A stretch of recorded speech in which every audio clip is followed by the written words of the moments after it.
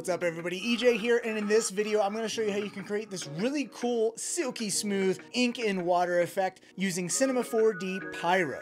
Now we're going to start off by showing you how to set up your scene, then we're going to dive into all of the important Pyro settings that allow you to achieve this look, and then I'm going to finally show you how to render using Redshift. And if you want to follow along, I'm going to leave a link in the description to a bunch of project files that I created for this tutorial, showing you a bunch of different setups. So if you want to support me and grab those project files, you can find the link to that in the description below. All right, so let's first start out by creating the object that's going to emit our pyro. And what I'm going to do is I'm going to grab a sphere. And basically, you want to try to think of real world scale here. If I want to generate a drop of ink, that would probably be about one centimeter. So probably even less than one centimeter. So what I'm going to do is have this sphere that's going to be our emitter be about one centimeter. I'm just going to zoom in here. Whoa. And then what I'm going to do is right click on the sphere, go to simulation tags, and let's grab our pyro here. So we got our pyro tag, we got our pyro object that is controlling our scene wide pyro settings. But in the pyro tag itself, what we're going to do is we're going to bring the object voxel size down to about one centimeters. And you can think of voxels as 3D pixels. The smaller the pixels, the higher the resolution. So we're just going to lower this here. We're going to uncheck surface emitter. We don't need this to emit from the surface, just from the actual object itself. And then for the density, this is controlling the smoke. Temperature controls the fire. For our ink sim, we actually don't even need temperature, so we're going to uncheck that. And then for the density, what I'm going to do is just set this to a fixed amount of 50. So if you put in any number in the set, that's going to be the set density. The add density is going to add this amount of density per 30 frames. So we actually are just going to zero that out and just be left with our set density of 50 throughout the entire sim. And that's all we need to do in this Pyro tag. If we go to our Pyro object here and go to the Pyro tab, and let's just go ahead and hit play here you can see that this isn't generating anything at all. And that's because we are basically generating one centimeter voxels and our pyro voxel size is so large, it doesn't even have the resolution to calculate that. So what we're gonna do is we're just gonna lower this voxel size to 0.25. Now this is pretty tiny, but it's gonna allow us to have really nice detail on our volume simulation here. So with that lower voxel size, if I hit play now, Whee! We got some smoke, which looks uh, pretty nice so far, but you can see it's going up. If we had a drop of ink, it would go down. So to control that, we're going to adjust this density buoyancy. And right now it's a negative 5, but if we bring this to a positive number, like say 2, you can see now it's going downwards, which is exactly what we want. Now you can see that we have a lot of wispiness all over the place, and to kind of make our smoke stick together more, we're going to bring down this vorticity strength. So if I up the vorticity strength, you can see how much everything just kind of scatters. If I go back to frame zero, hit play, let's really crank this up. You can just see how swirly everything gets, how it, everything scatters really quickly. So to make our smoke kind of stick together longer, we're going to bring the vorticity strength to 1. So we're going to lower that down. And then to remove even more turbulence, we're going to twirl down the turbulence options here. And we're just going to bring down the actual turbulence strength to 1. And then let's rewind and see what this looks like. So you can see everything looks a little bit more controlled. It's not getting blown all over the place with the turbulence. Now, there's a couple settings here that are pretty important with how this sim looks. You can see it's looking pretty nice, but it's actually, you know, the detail's a little too fine. It looks too much like smoke. And what is controlling all these little details of wisps and stuff are the octaves, which if you are familiar with octaves in, say, a noise shader, the higher the octaves, the more detailed the noise. So we're going to leave it at that, but we can actually adjust the octave scale or the actual scale of that octave noise. And so the bigger this number, it's almost like the bigger the initial size of that turbulence. And then this incremental octave scale is kind of like an incremental scale of that. So let me just bring up a doodle tool here, like so. So let's go back to these two settings. So we have our initial octave scale, which you can think of if I have the little sphere here. The bigger the scale, here's our initial sim. Here is a big branch of our sim. Now, the smaller this number, we would have something like this, where we'd have little noises being generated from our initial pyro setting. And then this incremental octave scale, the lower this number, the smaller the noise that we're going to get incrementally branching off of those initial smoke tree stems here, okay? So we want to make these numbers bigger so we can have something that looks a little bit like this. So looks a little bit more like water versus a highly detailed smoke. So I'm going to bring the initial octave scale to about 7 and then the incremental octave scale to about 3.5. So we'll have detail, but not as fine detail as we have now where it looks like wispy smoke. Now, take a snapshot of what this looks like in your mind. And let me actually delete this uh, little doodle object here. Let me go back to my move tool and let's hit play. And with our bigger initial octave scale and incremental octave scale, we should get a little bit less detail, but more kind of this movement like so, which looks a little bit more like ink, okay? So let's move down, and you can see that our smoke is dissipating over time. We don't actually want the smoke to dissipate because ink and water is not going to dissipate that much. So we're going to bring down the relative density dissipation to zero. And what you should see is that now we're going to have a very dense, thick smoke simulation throughout the entire simulation here. It's not going to dissipate at all. Okay, you can see how much darker the density is of our smoke here. Looking good. Now, this is still looking pretty rough, uh, pretty smoky still. Now, where the real magic happens and how we can change this from smoke to ink in water is in this smoothing tab. So you can see how this is kind of like pretty rough. If we want to actually smooth the density a little bit and kind of, it's almost like a Gaussian blur on this voxel volume, we can just bring this up to about like nine. And then the velocity smooth is going to kind of smooth out all the turbulence happening here to make it a little bit more liquidy. So let's bring this to about, say, 60. And again, take a snapshot of what this looks like.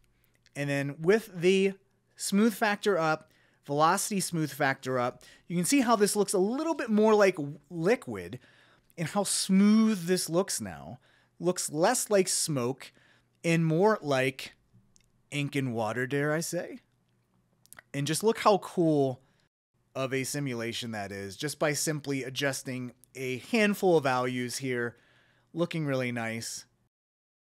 Now to add even more detail to this, we can go under the advanced settings here.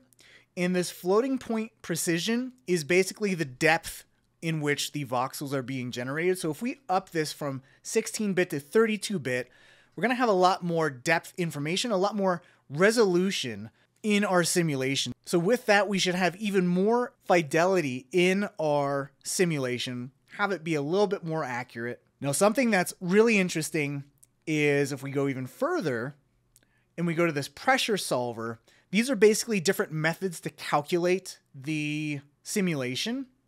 And by default, it's this multi-grid full cycle. No idea what any of these things are, but depending on which one of these solvers you choose, you can get a totally different simulation. It's kind of up to you to see which one you like more. So again, snapshot, mental snapshot of what that looks like. Let's use the Gauss Seidel and you can see that already this is looking a lot different from that other model we used.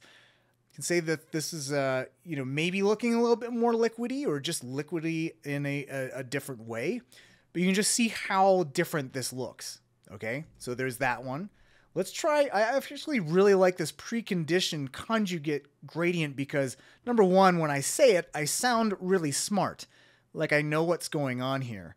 Uh, and I feel very proud of myself that I even pronounced that correctly. Uh, but you can see that this looks totally different from the Gauss one, okay? And so play around with all these settings here, especially the polish iteration, smoothing iterations. You can get even more fine-tuned detail, more accurate simulations. But I found that, you know, keeping these values the same actually works pretty well. But you can just see how different this simulation looks. And it still looks like ink and water. It just looks slightly different from, you know, the initial pressure solver we had here. So let's do this multi-grid V, like the Mighty Duck. Is that the Mighty Duck uh, Flying V version of this? I don't know. Uh, but you can already see this looks slightly different still uh, from everything else. Okay, so have fun, you know, dialing in all these different settings because you can get totally different looks.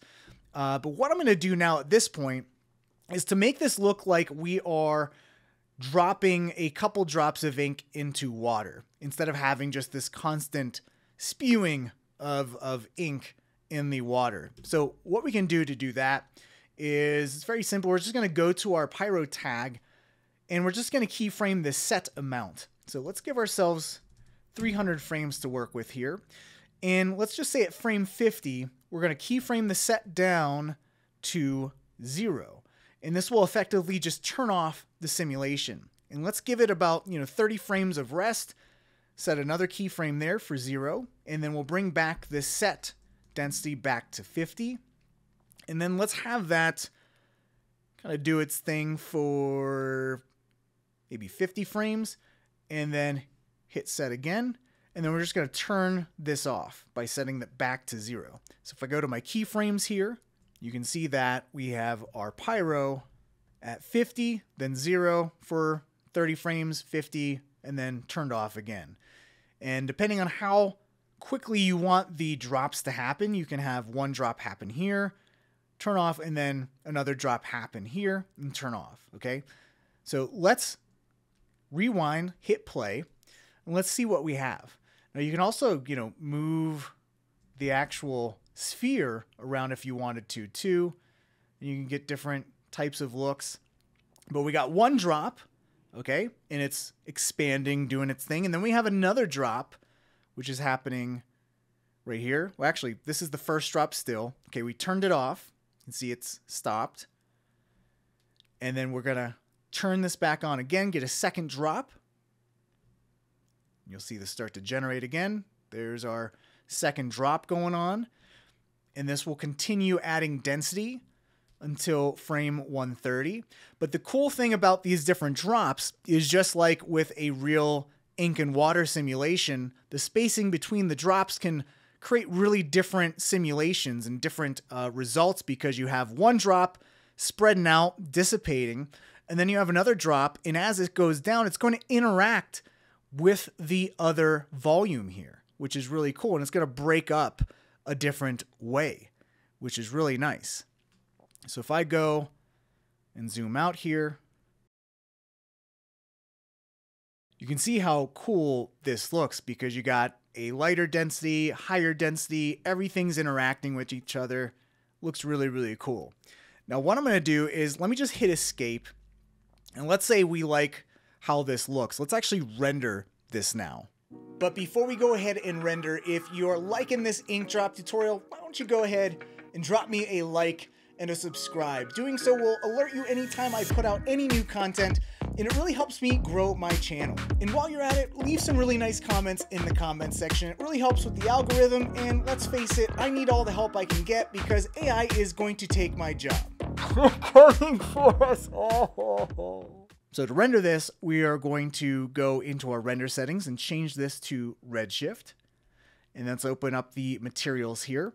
Now to render, we need to do two things. Number one is create a material, pyro volume material. And we're going to apply this pyro volume material to the actual pyro object, not the object with the pyro tag, but the pyro object here, okay? And then if we were to go to our Redshift render view and hit play, you'll see that we don't see anything at all. And that's because our smoke, our simulation is actually being calculated on the GPU. It's not actually loaded into the viewport to render. So to do that and to load the simulation off of our VRAM into our viewport, we just need to go to object and we're only generating density right now. We're not even generating temperature or velocity, we're just generating density. And right now it's only going to appear on export. So if you cache this, that's when it will show up. But we can actually turn this on and this will generate in our viewport. You can see that changed in our viewport here, but you can still see it's dark in our render view, and that's because we don't have any lights in our scene. So let's go and grab a dome light, and voila, there is our smoke sim, looking really, really nice. So now what we can do is adjust the materials to maybe turn this into a more interesting color than white ink or gray ink. And how we can do that is by going to our Pyro volume material. Let's twirl down the volume area here. Let's just give ourselves a little bit more room. And you can see we have scatter and absorption. Scatter is how much light is being scattered through our volume. And you can see that the scatter coefficient is currently 1. If we up this to, say, 3, you can see that light is going to scatter more and it should brighten our volume here. And you can see how much brighter that got. Now we can also change the color by changing the tint here. So maybe let's get a little blue here, like so. And you can see now we have this really nice blue ink. We can go and, you know, clamp these values here to get different types of looks here. We can also go down to the absorption, and this is how much light is just being absorbed into the volume. So if we make this value higher, what you'll see is that more light will be absorbed and it will actually look like a more dense, thicker volume there. You can see what that looks like. That's actually a little bit too dark, so I'm just going to move that back to 1. And again, we can adjust these values here, maybe bring in the ramp colors just to make that a more contrasty type of volume. Maybe make these wisps stand out a little bit more looking nice. You can see that a lot of light is scattering through the smaller wisps. So what we can do is we can just clamp the scatter ramp to make those little thinner ribbons a little bit darker, like so. So a lot of control over the look of your ink, not only by you know the settings you choose in your Pyro object and the different pressure solvers and the spacing between your two drops of ink, or if you want even more drops of ink, you can totally do that. But extremely easy to create these really cool ink drops. By the way, if you're new to Cinema 4D and you want to learn from the bottom up, be sure to check out my courses over at schoolofmotion.com. You can use promo code EYEDESYN100 to save $100 on either of my Cinema 4D courses. All right, let's dive back into the tutorial. Now, let's say we wanted to have two colors of ink being dropped with this sim. What I'm going to do is let me just close out of this Redshift render view here. Let's go back to frame zero. And what I'm going to do is decrease the amount of time between those two drops. And at frame 50, if we go to our pyro tag on our sphere, you can see we can set the color. So let's actually set the color to like a pink, something like that.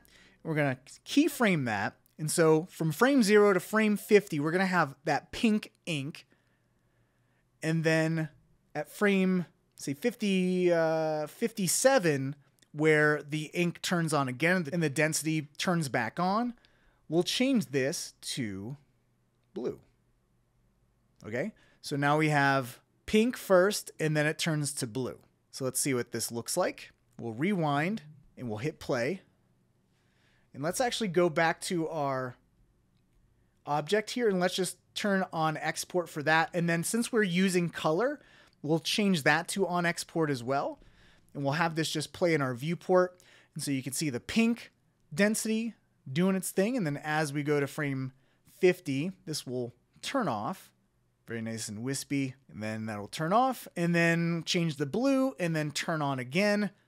And of course, you could go and, you know, create a separate sphere that is a different color pyro, but I like doing these different separate drops because then we just have everything in one pyro tag. And now what you'll see is, you know, the interaction of one color of pyro with the other color of pyro and get that little nice mixing of ink. So we'll let this play out a little bit. All right, I'm gonna hit escape just to pause that because this is looking pretty good, I think. And We'll just frame this up. Now remember, we need to then, for this to render, go back to our Pyro object. And then we're not only dealing with density at this point, we're also dealing with color. So we need to make sure that both density and color is turned on. So both of those object properties are now loaded into our viewport. And then we'll just go to Redshift render view. We'll hit play. And so you can see that this is looking really awesome, but it's all blue. And that's because if we go to our pyro material, that's because remember we're tinting this blue. So what I'll do is right click and go to reset to default. And then what we need to do to actually utilize the color that we generated with the pyro tag is we need to go to the absorption and in the absorption color channel, we're going to go to presets pyro and load up the color. And now everything's going to turn to very bleach white. And what we need to do is because we have such a thick density in our smoke, we're going to need to adjust this absorption coefficient. So our density was 50. Let's bring this absorption coefficient to 50 as well. And you can see now we get our blue and pink ink. And let's just reset the ramps here.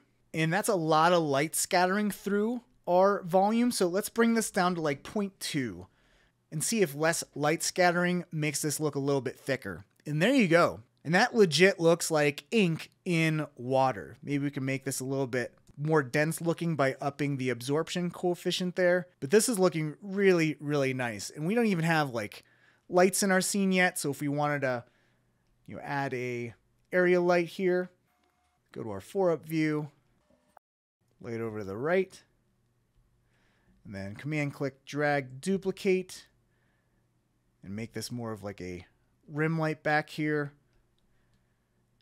Raise this up like so. You can see how bright that looks now at this point.